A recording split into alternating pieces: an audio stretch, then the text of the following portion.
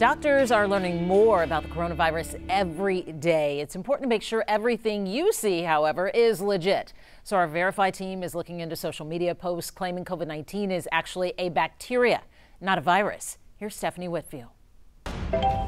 This Facebook post got several viewers' attention. They want to know if these claims are true. Did autopsies in Italy really find that COVID 19 is a bacteria, not a virus, and it can be treated with aspirin and anticoagulants? Our sources for this question are the World Health Organization and two doctors. All agree this claim is false, but it requires context. On its Mythbusters webpage, the World Health Organization says the new coronavirus is a virus.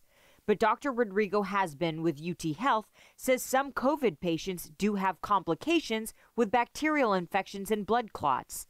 In those cases, Dr. Peter Hotez agrees those complications may require antibiotics or anticoagulants. People often who are admitted now to the hospitals in the Texas Medical Center are placed on anticoagulant therapy, but it's due to the virus uh, uh, binding to the blood vessels. Although several medications are being tested, as of now, there are no proven treatments for the coronavirus itself. So again, we can verify this post is false. Stephanie Whitfield, KHOU 11 News.